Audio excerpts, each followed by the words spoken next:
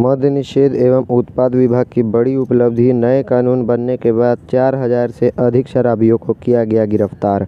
जानकारी देते हुए अधीक्षक मद्य निषेध मनोज कुमार सिंह ने बताया कि नए कानून का मुख्य उद्देश्य था कि जो भी शराबी गिरफ़्तार हो रहे हैं, उन्हें जुर्माना लेकर छोड़ दिया जाए।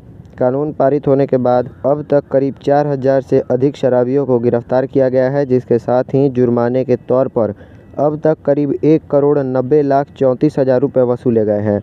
जिसके साथ ही जब्त किए गए वाहनों को पेनाल्टी पर छोड़ने की कार्रवाई में भी पश्चिम चंपारण जिला पूरे राज्य में सबसे अव्वल स्थान पर है। सिर्फ़ पश्चिम चंपारण ज़िले में पेनाल्टी पर छोड़े गए वाहनों की संख्या 340 के करीब है और करीब 70 लाख रुपए जुर्माने वसूले गए हैं।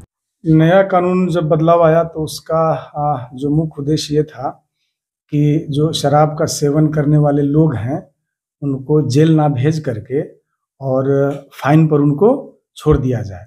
और पूरे बिहार राज्य में ऐसा ही हो रहा है। तो मैं पश्चिम चंपारण जिला की बात करूँ तो एक अप्रैल 2022 को कानून लागू होने के बाद नया वाला, उसके बाद पूरे ज़िले में पुलिस विभाग और एक्साइज विभाग के द्वारा चार हज़ार से अधिक शराब पीने वालों को गिरफ़्तार किया गया है।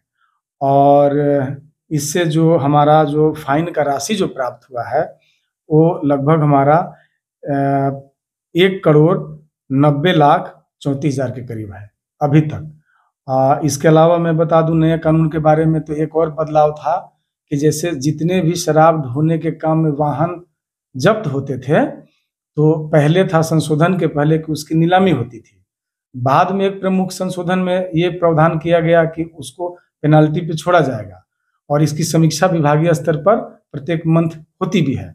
तो इस क्रम में मैं बताना चाहूँगा कि पश्चिम चंपारण ज़िले में पेनाल्टी पर छोड़े जाने वाले वाहनों की संख्या लगभग 340 के करीब है और इससे हमारा लगभग 70 लाख रुपए फाइन के रूप में भी आया है जो एक उपलब्धि है। बताया जा रहा है कि पूरे स्टेट में सर अव्वल दर्जा पर आया है सर।